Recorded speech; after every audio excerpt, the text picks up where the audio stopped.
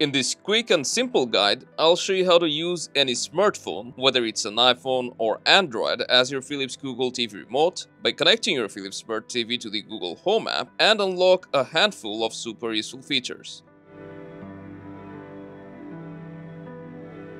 First of all, you'll need to install the Google Home app from either the Google Play Store or Apple's App Store. And after that, make sure you're using the same Wi-Fi on both your TV and your smartphone. Now we will open the Google Home app, allow any permissions, and then we will log in with the same Google account that we're using on our Philips Smart TV. Then you'll just need to go to the Devices tab, scroll down, and you should see your Philips Google TV under Local Devices. Let's tap on it and now to connect your Philips TV and link it to your Google Home app, you'll need to select Add to a room. Now select any of the room that you want, tap on Move Device, and then select your room.